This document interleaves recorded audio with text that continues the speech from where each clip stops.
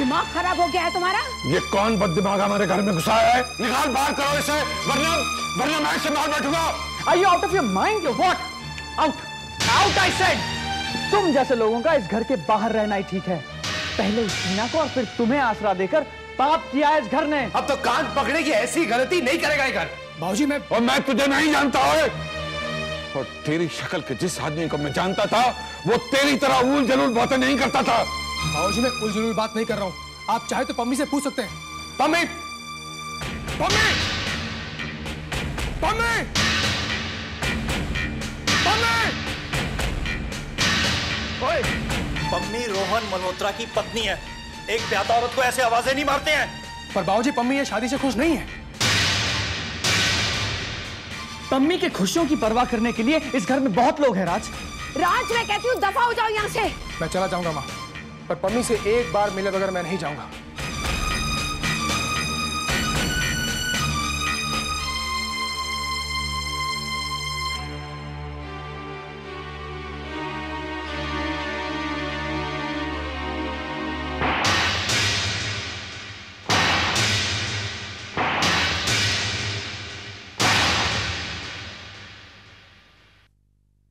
चला जाए यहाँ से। वरना मैं कुछ कर बैठूँगा। जा तक चल मम्मी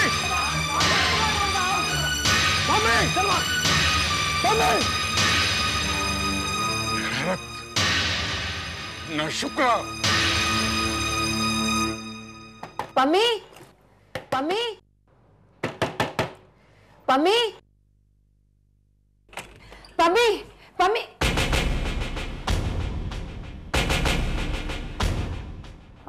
चली गई। पम्मी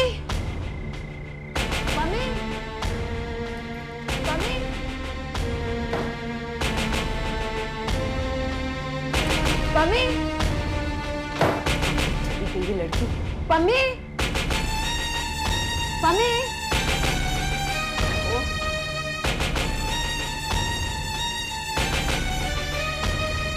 पम्मी कब से आवाज़ दे रही हूँ? सुनाई नहीं देता? मुझे तुझसे कुछ बात करनी है। इधर आ। मैके में रहने का मतलब ये नहीं होता कि अपनी मनमानी करो। जब तक मेरे सवालों का जवाब नहीं मिल जाता मैं तुझे इस कमरे से बाहर नहीं जाने दूँगी। क्योंकि पहली बार पहली बार ज़िंदगी में तेरी वजह से मैं शर्मिंदा हुई हूँ। एक तरफ़ तेरी बेहयाई देखी दूसरी तरफ़ उसकी बेशर्मी। दोहरा विश्वासघात हुआ है इस माँ के साथ। आपके साथ किसी ने विश्वासघात नहीं किया, मम्मी जी। अभी भी तू पैरवी कर रही है अपनी उस हरकत की? राज के साथ एडिनबरा क्या करने गई थी? मैं राज के साथ नहीं, मैं देव के साथ एडिनबरा गई थी।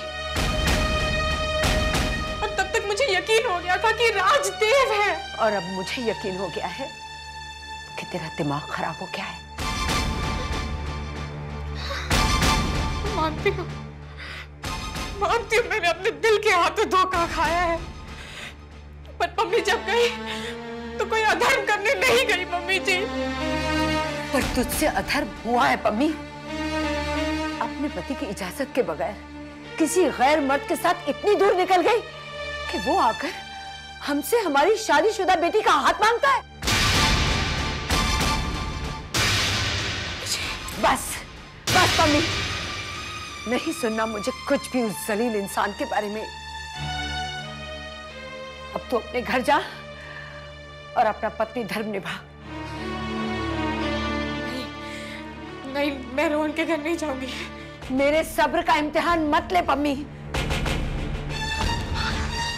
प्लीज़ रोहन के घर मुझे मत भेजिए मम्मी जी। आपको मैं इस घर में सहन नहीं होती तो मैं कहीं और चली जाऊँगी।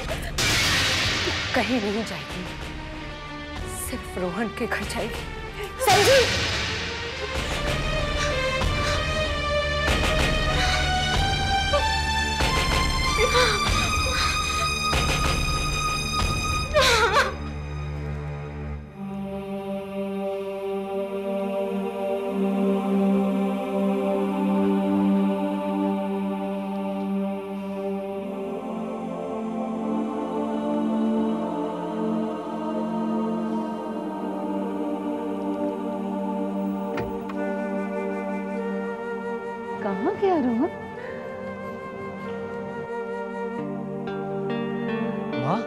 रोहन? विजय। ये आप क्या कर रही हैं? आज छोटी दिवाली है ना अपने इस घर को दिए से जगमगा रही हूँ।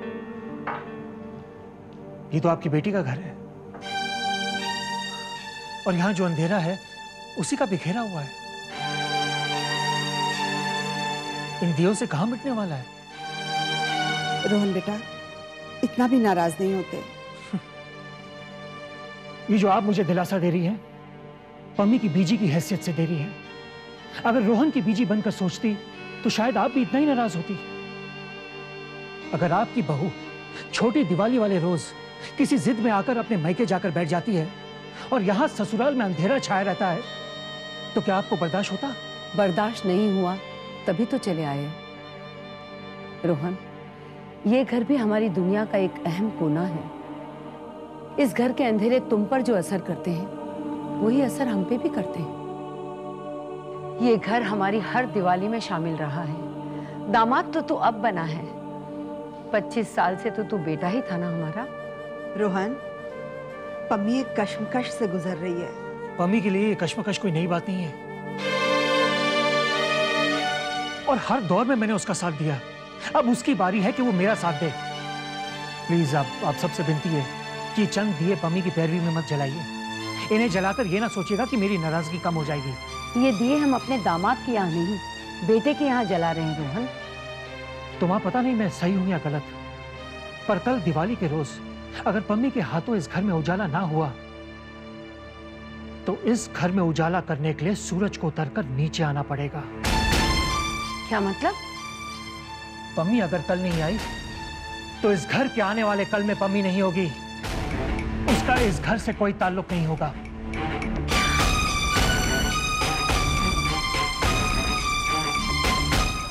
अब अगर रोहन कुछ कहता है तो कोई गलत नहीं कहता। तुम पम्मी को समझाओ। रोहन नाम का जो बंदा है, उसके बर्दाश्त की भी कोई हद होती है। और कितना क्या क्या बर्दाश्त करता आया है वो?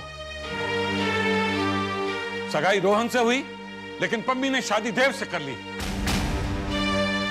जब पम्मी विधवा हुई, तब भी रोहन ने उसे अपने दिल से कबूल कर लिया। और अब शादी होने के बाद किसी मर्द में इतनी ज़रूरत नहीं कि वो हमारे घर में आकर हमारी ब्याता बेटी का हाथ मांगे।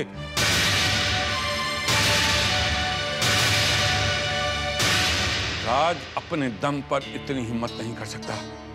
इसमें ज़रूर पम्मी की शय होगी।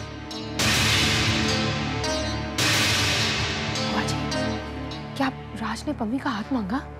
हाँ मांगा और उसे धक्के मार के घर से बाहर निकाल दिया है। लेकिन वो कहाँ गया होगा? कहीं सड़क की धूल चाट रहा होगा। तुम यहाँ पर क्या खुसर पुसर कर रहे हो? अगर बातें करनी है तो बाहर जाओ। अगर कोई हादसा एक ही घर में रहने वाले सदस्यों पर अलग अलग डिग्री में असर करता है किसी पर कम किसी पर ज़्यादा और किसी पर कुछ भी नहीं। तो उस घर का रब ही मालिक होता है। अपने घर का जो होगा वो देख लेंगे बाबूजी पहले तो ये सोचे कि रोहन के घर का क्या होगा। पर दीदी ने भी एकदम से ऐसा फैसला कैसे कर लिया? दिमाग खराब होता है तो इंसान ऐसे ही फैसला करता है। माफ़ कीजिएगा बीजी। पहले हम ही ने राज को दुलार देकर उसका दिमाग खराब किया। और फिर राज ने उसी दुलार का फ़ायदा उठाकर पम्मी दीदी का दिमाग खराब किया। और फिर राज बस। सब लोग कान खोलकर सुन लो। आज के बाद इस घर में राज का नाम नहीं लिया जाएगा।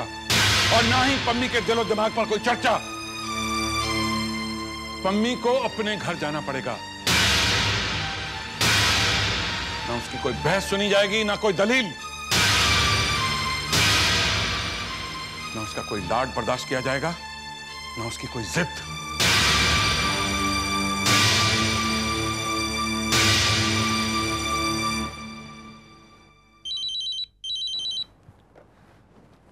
हेलो। सैम मैं बबल्स बोल रहा हूँ चंडीगढ़ से।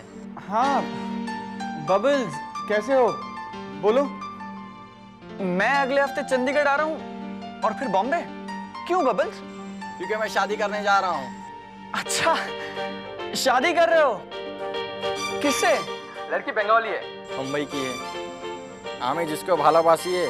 कांग्रेस यार। बबल शादी कर रहा है। किसी बंगाली लड़की से ओए बबल्स ओए तू कौन सा अखबार पढ़ता है जिसमें छपा है कि तेरा बाप मर गया? साहिबजादे ने शादी तय कर ली और माँ बाप को पता भी नहीं। ओ हाँ अब तो आना ही पड़ेगा चंडीगढ़। चंडीगढ़ आगे खबर लेता हूँ तेरी। चल बाय अब हमें कल ही रवाना होना होगा चंडीगढ़ के लिए।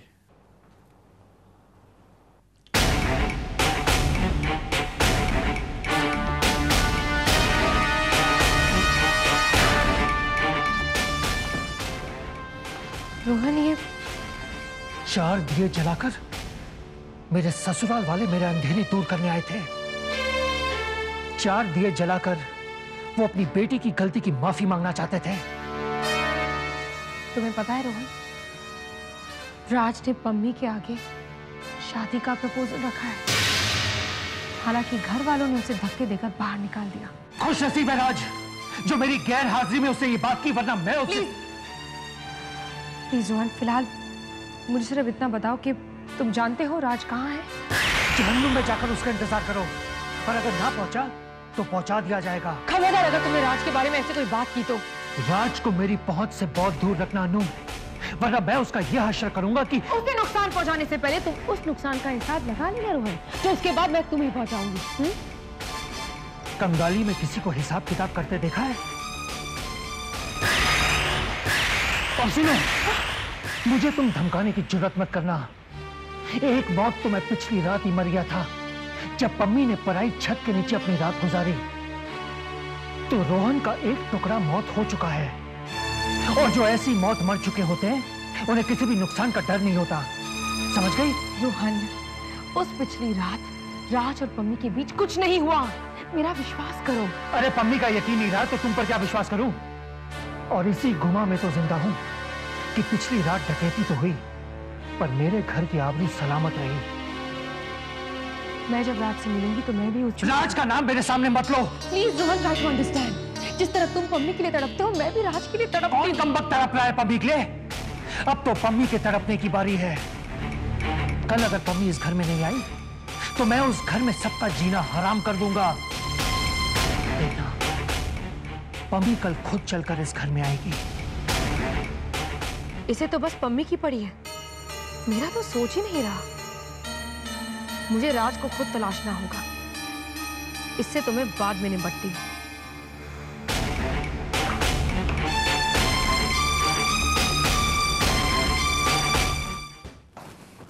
पम्मी से ही पूछना पड़ेगा कि राज कहाँ है। कोई माने या ना माने मेरे हिसाब से आपने कोई पाप नहीं किया। आपसे पाप हो ही नहीं सकता दीदी। सच पमी दीदी आप अपने मन को भारी मत करिए। और देखिए आप अपने यहाँ पर एतबार बनाए रखिए। वही तो गवा कर लौटी हूँ। मेरा रत्ती भर भी विश्वास नहीं रहा अपने आप पर। आप ऐसा क्यों कह रही हैं दीदी? साबित कर दिया गुलाबा ने।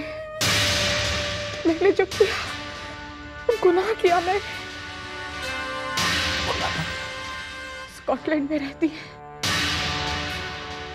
विदेश से मिली थी। आप उनसे मिलने गई थी?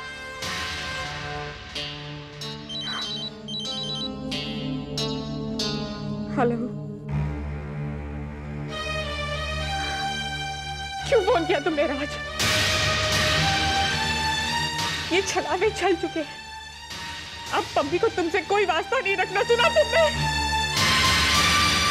पम्मी तुमसे अब जीते जी कभी नहीं मिल पाएगी।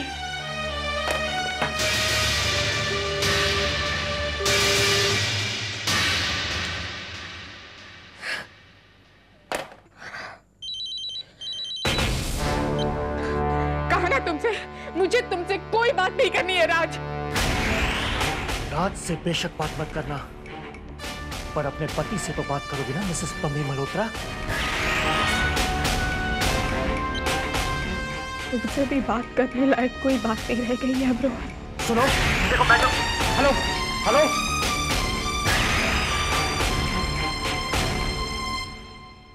अरे परजाई जी आपने किसी गुलाबा के बारे में सुना है?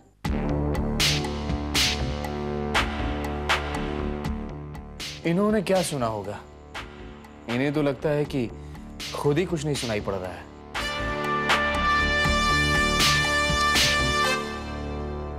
मम्मी दीदी, राज कहाँ है?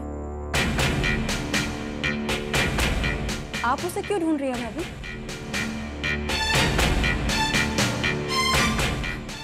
अरे, आपको तो सचमुच सुनाई नहीं दे रहा। प्लीज़ मम्मी दीदी बताइए ना राज कहाँ है? डेंगी। अनु से कहो कि यहाँ से चली जाए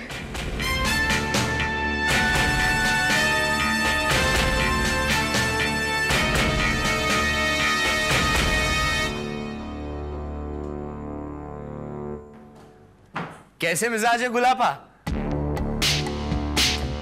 डिंगी का पति बोल रहा हूँ गुलापा। हाँ जी। भाई राज आपके यहाँ है क्या? यहाँ बस आदाब गुलाबा मैं अनु अब मैं मुझे पहचाना ना मैं उस दिन आई थी आपके। हेलो? हेलो?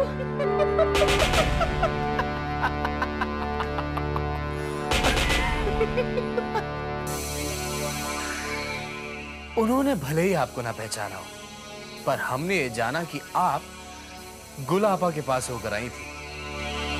पर जाइए आपने सच्चाइयों को फिर से घुमा दिया। आकाश प्लीज़ मेरी मदद करो। राज पता नहीं कहाँ चला गया है? ढूंढो उसे मेरे लिए। काजल से कहीं ज़्यादा अच्छे आपकी आँखों में ये आँसू लगते हैं। इन्हें यूँ ही अपनी आँखों में रखा करिए परजाई जी। और कुछ दिनों आपका ये हुस्न देखा जाए। अगरचे आपने दिल जीत लिया तो राज को हम सिर्फ़ आपके खातिर ढूंढ निकालेंगे। पर जाई जी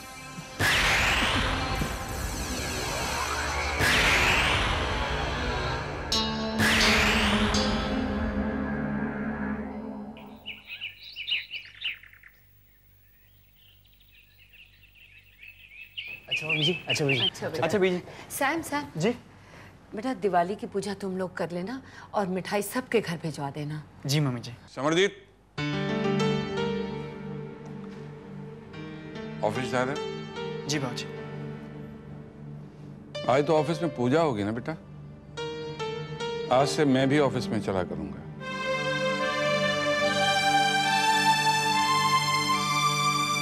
आज से मैं खुद ऑफ़िस में बैठूँगा। पूजा पे ज़रूर चलिए बाबूजी मगर अगर आप ऑफ़िस के काम का टेंशन ले रहे हैं तो बिल्कुल मत लीजिए। सैम अगर बाबूजी चलना चाहते हैं तो उसमें कोई बुरी बात नहीं है। उन्हें चलना चाहिए। वैसे भी काम का बोझ तो है ही ना।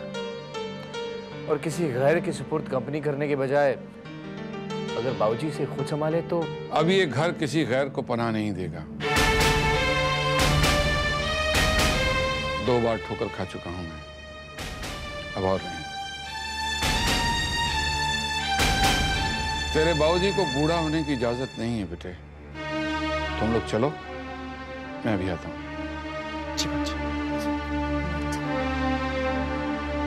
जी मम्मी कहाँ है पुत्र? वो अपने कमरे में है।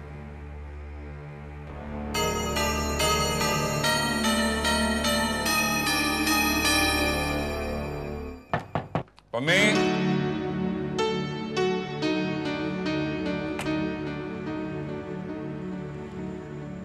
बाबूजी पम्मी पुत्र मैं तुमसे बात करने नहीं आया हूँ। तुम्हें बताने आया हूँ। आज तुम अपने घर के लिए रवाना हो जाना। घर की लक्ष्मी अपने ही घर में शोभा देती है। समझ गए ना पुत्र?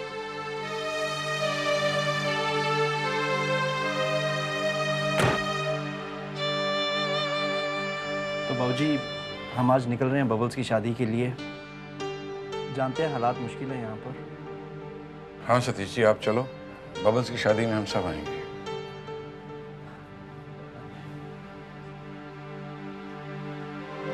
तेज़ी सुख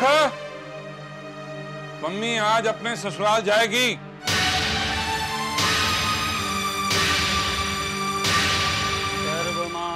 मांगल्ये शिवे सर्वार्थ साधिके, शरणे त्र्यंबके गौरी नारायणी नमस्तुते। सर्वबाधा विमुर्मुक्तो धन्य धान दान सुधा मनुष्योऽयं प्रसादेन भविष्यति न संशयः। ॐ लक्ष्मी माता की जय।